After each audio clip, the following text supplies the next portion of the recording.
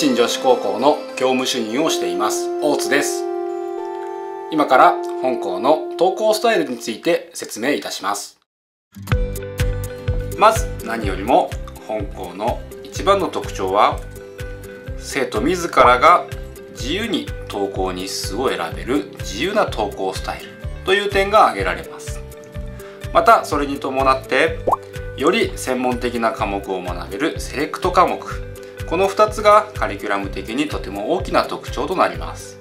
この2つについては、え、この後詳しくお話しさせていただきます。他にも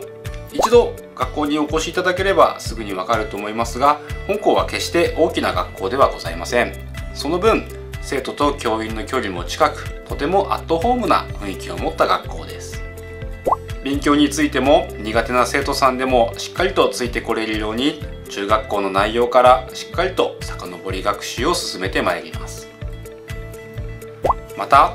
勉強以外の部分でもいろんなところで生徒さんに、えー、輝いてもらいたい。そういった意図から、えー、1年間を通じて多彩な学校行事を用意しております、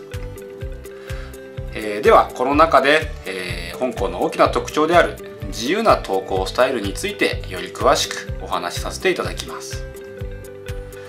自由な投稿スタイルといっても基本となる投稿日数をまずは選んでいただきます。基本となる日数は1日もしくは3日です。この基本の投稿日数に加えて自らの選択で選んでいただくセレクト科目。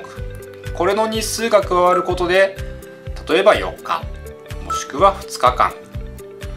もしくは5日間また3日といったようにえ1週間のうちの投稿日数を自ら決めることができる。これが本校のカリキュラムの特徴です。ではより詳しくまずは3日投稿についてお話しさせていただきます。3日の投稿についてはまず1週間月曜日から金曜日まで平日5日間のうち月水金この3日間が基本の3日間となります。この3日間は必修科目を勉強する3日間でそれぞれのクラスにそれぞれの時間割が組み込まれてきます。この3日間はクラス単位での活動になり朝決まった時間のホームルームまた帰りのホームルームなど規則正しい生活習慣を身につける場ともなります。各クラスには担任がつきますのでよりきめ細やかな担任の指導が入ります。また放課後には部活動や学校行事など勉強以外のさまざまな学校生活を、えー、この3日間で体験してほしいなというふうに考えております。続いて残りの火曜日と木曜日です。火曜日と木曜日は選択科目セレクト科目が設定されている日になります。自らの意思で自由に科目を選択する。それにより登校時間が変わりフレキシブルな時間帯となります。またどの生徒がどの科目を選択するかが分かりませんのでいつもとは違った友人関係を築くことができます。内容もより専門的な科目が多くなりますので将来の進学などそういったニーズに応えられるような科目を設定しております。では火曜日と木曜日についてもう少し詳しくお話ししていきます。火曜日と木曜日各教室にそれぞれさまざまな科目の授業が設定されています。この中で例えば私は将来保育士になりたい。そういった希望を持った生徒がいれば火曜日の3時間目保育入門という科目を選択しよう。またピアノが弾けた方がいいからピアノの授業を取りましょう。さらに、えー、保護者との手紙のやり取りなので国語力が必要だ。国語基礎の科目でより文章力を身につけよう、えー、将来の目標とは全く関係のないところで例えば体を動かすのが好き。そういった理由でスポーツを楽しむ。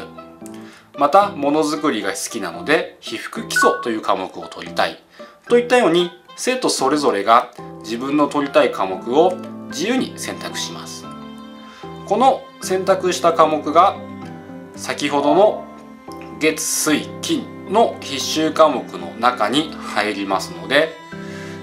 基本となる登校日数が3日というふうに初め選びましたが選択科目によっては1週間フル5日間で登校することも可能になりますしもちろん選択科目の日にちによっては4日間の登校もしくは何も取らずに必修科目だけでという場合には基本となる3日間の登校という形になります。これが3日登校についてです、えー、続いて1日の登校についてです。1日の登校は基本となる日にちは土曜日になります。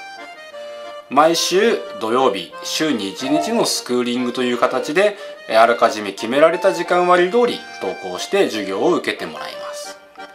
平日の月曜日から金曜日までは基本的には与えられた課題の提出に向けてしっかりと取り組んでください、えー、この2つをしっかりとこなしていくことで進級また卒業を目指していきます。えー、週に1日の登校でなぜ進級卒業が可能かと言いますと本校は通信制課程の高校として神奈川県から認可をいただいておりますので通信制の単位習得要件、えー、決められた回数のスクーリング決められた本数のレポート提出また定期試験の受験や特別活動30時間といった、え、各諸条件をクリアすることで進級卒業は可能となります。えー、もちろん、えー、普段通り決められた通りに過ごしてもらえればこれらの条件は全てクリアできるようなカリキュラムが組まれておりますそして週に1日を選んだ生徒も先ほど説明した火曜日と木曜日のセレクト授業に参加することが可能です自分の興味や進路に合わせて週に1日土曜日を基本としながらも火曜日木曜日の選択科目でさまざまな科目を取ることが可能となります。つまり1日を基本とすると言っていても1日選択を増やして2日間もしくは2日選択を増やして3日間このように登校日数を選ぶことが可能になる。というようなカリキュラムとなっておりますここまでのお話を一度まとめると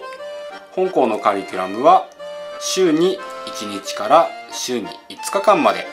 えー、それぞれ生徒の状況に合わせて生活スタイルに合わせて、えー、登校日数を決められるこのようなカリキュラムを設定させていただいております。